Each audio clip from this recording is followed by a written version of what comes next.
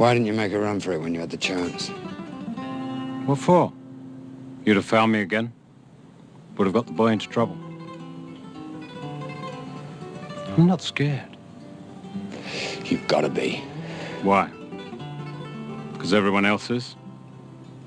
Because you are. You don't know.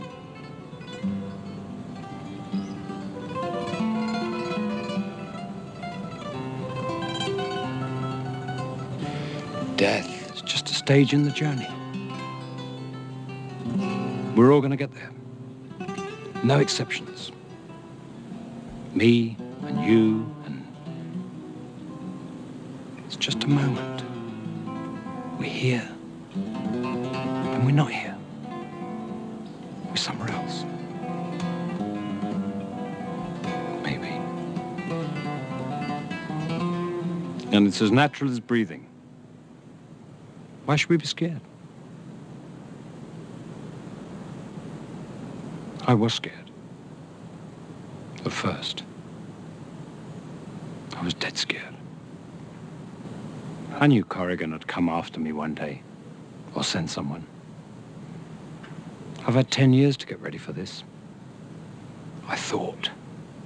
And I read. Must have read a whole library of things. Amazing things.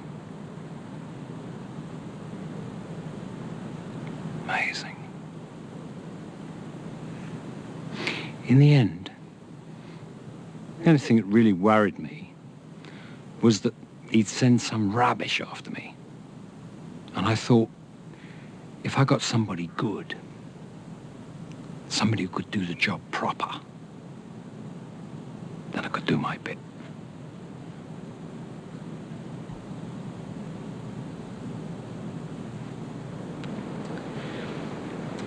Do you ever, um, did you ever call yourself, uh, something like a Walsh, uh, Wallace, something like that? Wallace, maybe. yeah, thought so. I met you once in the old days. Well, we was in the same room together. Yeah, I remembered you. You didn't remember me, though.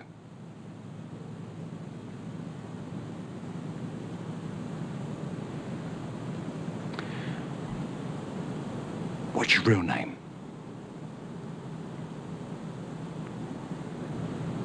Braddock.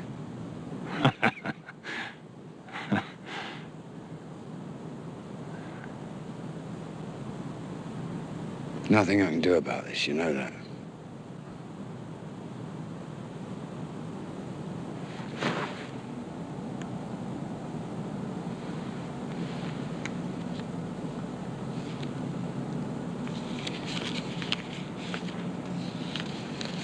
I read this in a magazine when John Lennon died. Death, be not proud, though some have called thee mighty and dreadful, for thou art not so. For those whom thou think'st thou dost overthrow, die not, poor death, nor yet canst thou kill me.